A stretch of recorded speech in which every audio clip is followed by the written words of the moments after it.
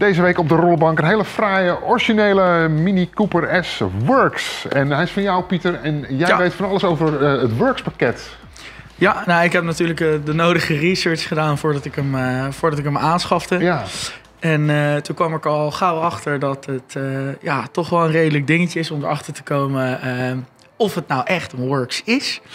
En zo zie je in de motorruimte vaak van die stickers, hè, daar waarop staat eh, John Cooper Works heel groot. ja. Maar eh, dat zegt schijnbaar niet alles. Want die kun je vervalsen. Die kun je kopen op internet. die stickers, oké. ja.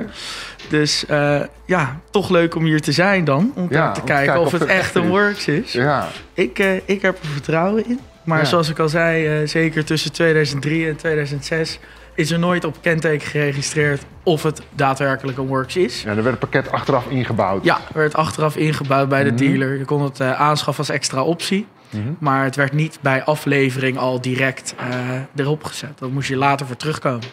Hoeveel vermogen moet hij hebben? Eh 210 pk. En zit dat erin? Dat gaan we zien. Ik denk het wel. Oké.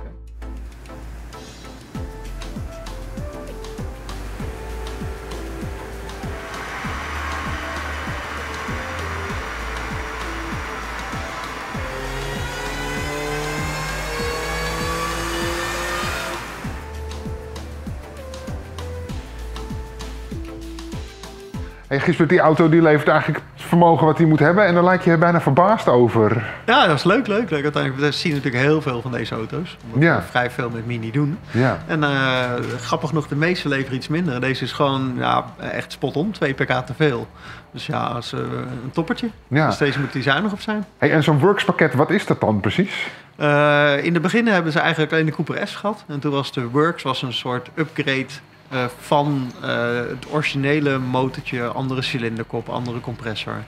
Ehm, en daardoor hadden ze in het begin het 200 pk en later 210 pk.